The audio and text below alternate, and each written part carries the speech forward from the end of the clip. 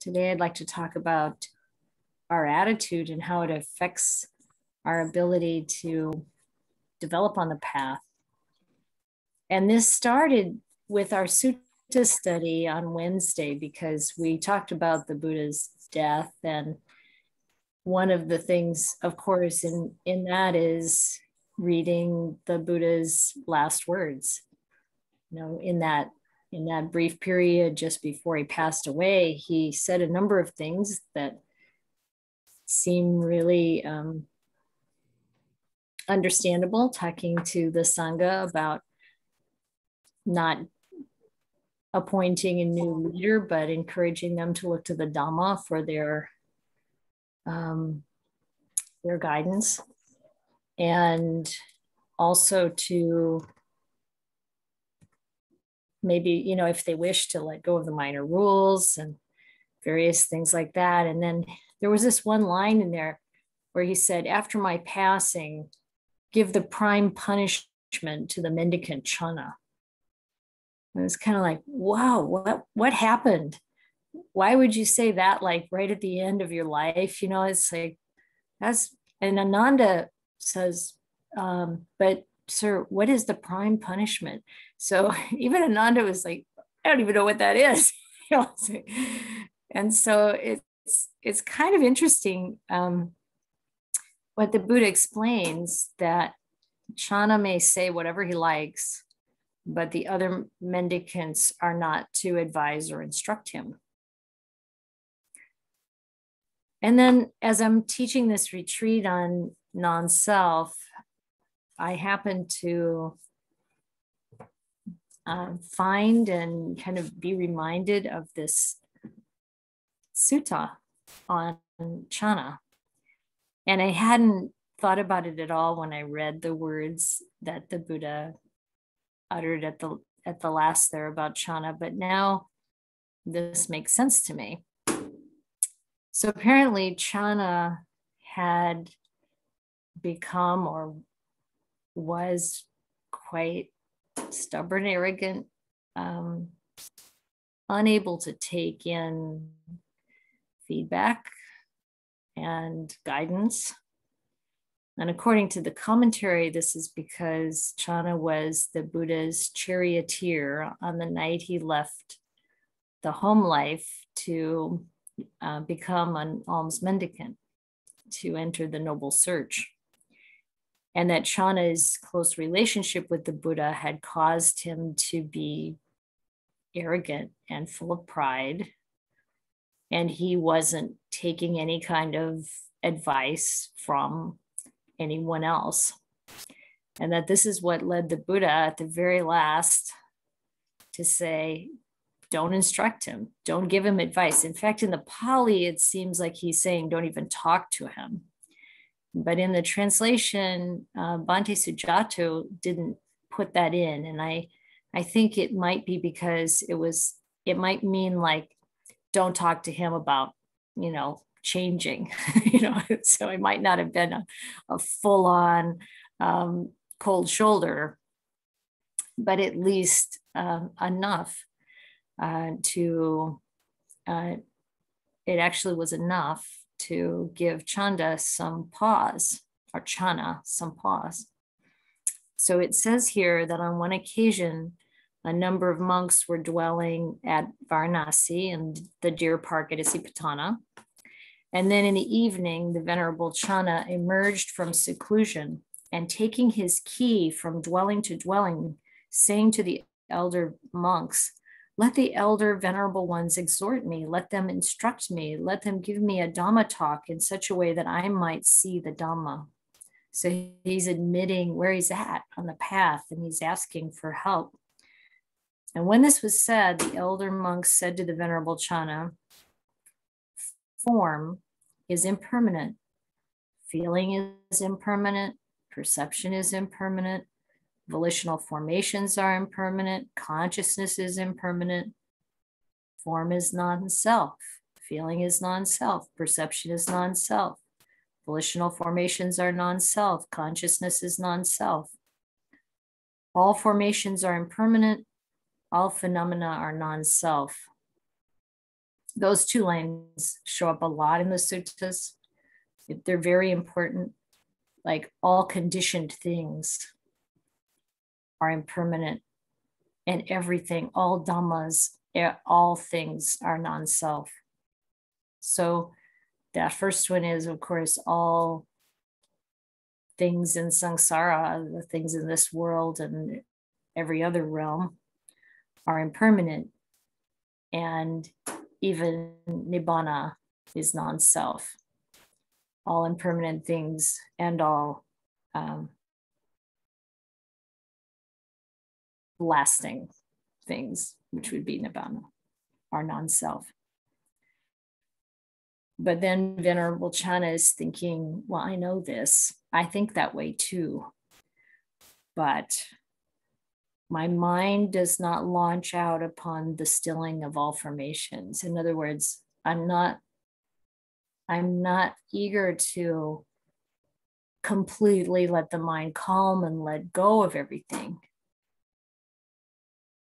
The relinquishing of all acquisitions, the destruction of craving, destruction, cessation, nibbana, he's not going there and he's wondering why. It's kind of like he gets it intellectually but he doesn't get it at the heart level. He's not getting it at the direct experience level and he doesn't know why. Instead agitation and clinging arise in my mind and the mind turns back thinking but who is myself? So he's still concerned about his the self. Such a one does not happen to such a thing does not happen to one who sees the dhamma. So who can teach me the dhamma in such a way that i might really get it basically he's saying that i might see the dhamma? So it occurs to him that venerable ananda is living the Kosa, at kosambi in Ghosita's park and he's praised by the teacher and esteemed by his wise brothers in the holy life now, of course, this is all after the Buddha's death, and most likely after Ananda has realized Nibbana and, and become one of the Arahants. Says, so I, since I have so much trust in Venerable Ananda, let me approach him. So he straightens up his lodging and takes his bowl and robe and he travels, walks to the Ghosita's Park in Kosambi and he comes to the Venerable Ananda and he exchanges greetings with him. And after their greetings and cordial talk are completed, he sits down to one side and he says to the Venerable Ananda, Let the Venerable Ananda exhort me, let him instruct me, let him give me a Dhamma talk in such a way that I might see the Dhamma.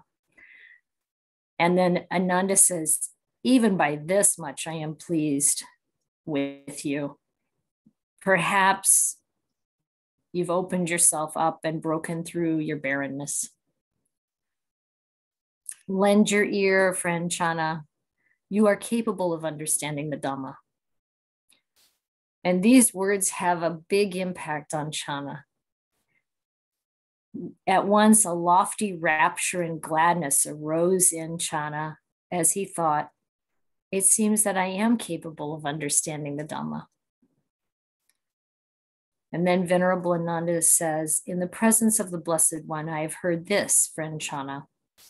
In his pleasant, in his presence, I've received the exhortation he spoke to the bhikkhu Kaccanagotta. And so that's actually in another sutta, which is only um, fill it, it has ellipses here, but we're going to fill it in. And this is what the Buddha said to Venerable Kaccanagotta. This world, Kaccana, for the most part, depends upon a duality, upon the notion of existence and the notion of non existence. But for one who sees the origin of the world as it really is with correct wisdom. There's no notion of non existence in regard to the world. The world exists. Here we are. The birth of a living being coming into the world has an existence. Obviously, I'm adding that part. You can tell the reading voice, probably, right? and for one who sees the cessation of the world as it really is with correct wisdom, there's no notion of existence with regard to the world. This world, Kaccana, is for the most part shackled by engagement, clinging, and adherence. But this one with right view does not become engaged and cling through the engagement and clinging perception and, and viewpoints, adherence, underlying tendencies.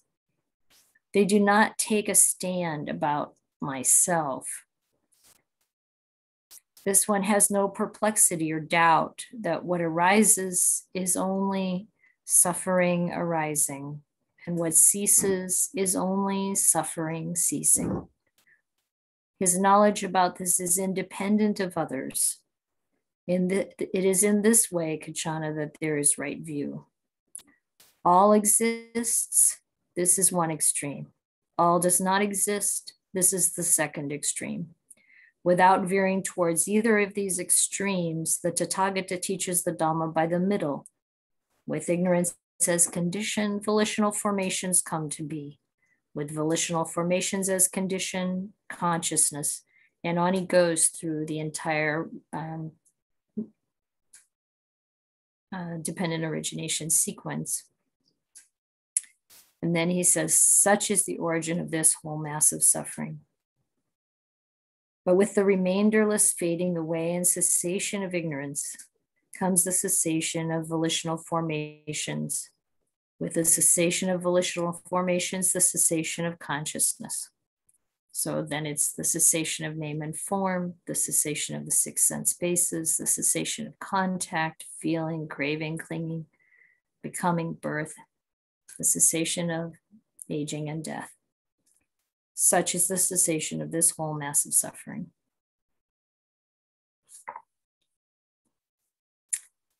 And when Ananda finished retelling this discourse to Channa, Channa said, So it is, friend Ananda, for those venerable ones who have such compassionate and benevolent brothers in the holy life to admonish and instruct them. And now that I've heard this Dhamma teaching of the Venerable Ananda, I've made the breakthrough to the Dhamma.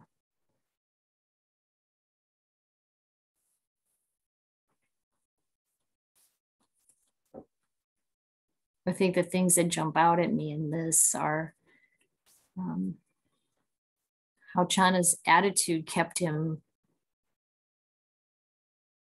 bound and unable to make progress for so many years. If he really was the Buddhist charioteer 40, 50 years before,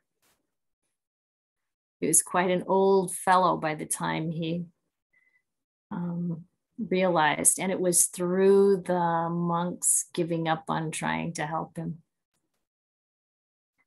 and to realize that we can change anytime and it can be helpful. And to see how much humility and really being honest with ourselves um, of course and and with our trusted friends in the dhamma about where we're at and what kind of like a sense of what needs to come next.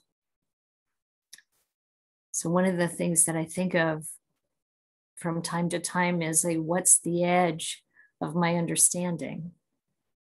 Because if we think about like what what is it that I know without a doubt, and what is it that I'm not sure of yet in the Dhamma?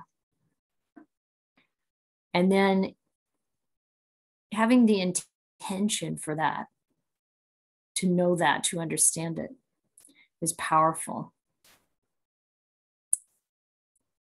We can bring that intention up in the mind when we practice, and we can it's not it's not like a goal you kind of can't like just uh, go after it directly but allow that um, invitation to linger there as a contemplation, as an intention. So, one when I was living at Chithurst, or maybe it was even earlier, but I was at Chithurst at the time. I um I felt like I really didn't have a, a full understanding of non-self. And I I can't remember if I've told you the story before or not. If I have, forgive me, but I was thinking, here I am living in this great monastery with all these excellent practitioners, and this is my chance. This is my chance to go deeper into understanding this doctrine of the Buddha. And I'm not even sure I like the use of the word doctrine there, but to have this understanding of this reality of non self. And I went into meditation, and that, that invitation or that wish to understand was there in my mind but that was that was it it's not like i can just do something to make that something happen there so I just went into into meditation and my mind without my prompting.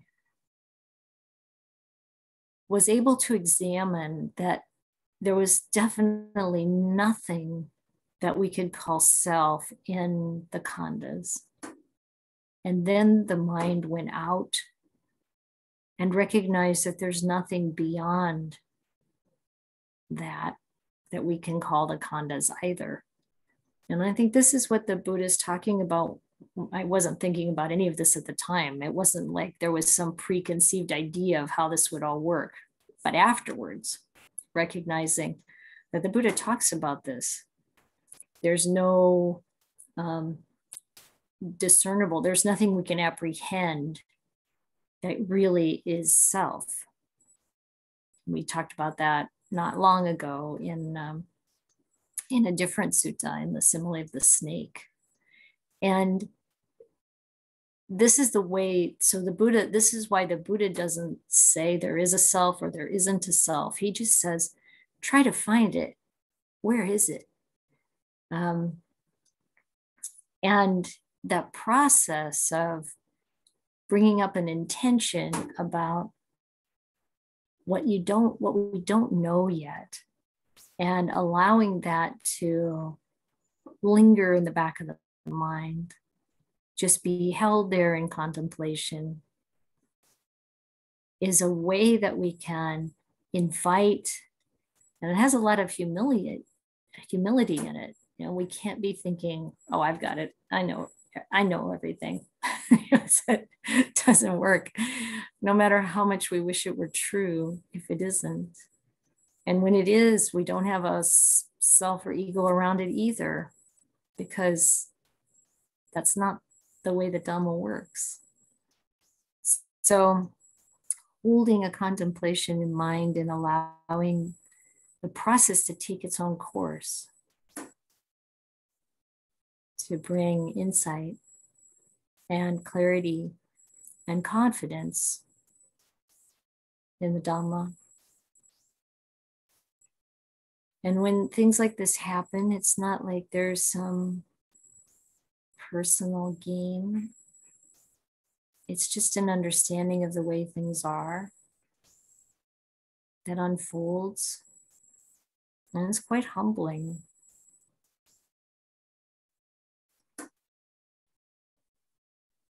So it seems um, that humility is such a, a valuable characteristic to cultivate. And it's also very freeing, more peaceful than trying to uphold some idea of being somebody or something. It's super stressful to maintain a self. it's really a challenge. And as soon as we shift away from that, we feel better. And of course, the world is always encouraging us to show up um, as a personality, as a self, to gain, to um, impress. And the interesting thing I've noticed, even with people who have um, a lot of responsibility and maybe manage a lot of people, is that if they shift to this kind of humility and selflessness, they're so respected and so appreciated because they're trustworthy. They're not trying to prove anything.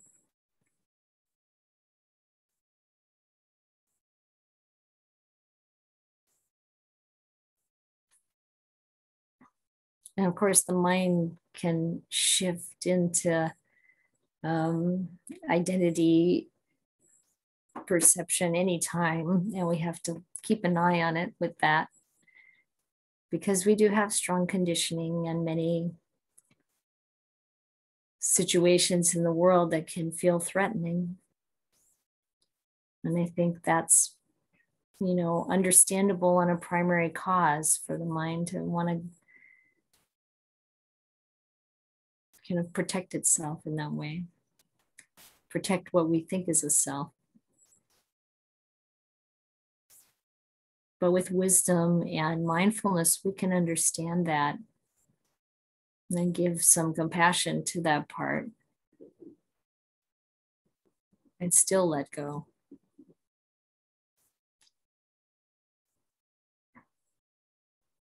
So I think I'll close the comments there and for your reflection. And we can um, do some meditation.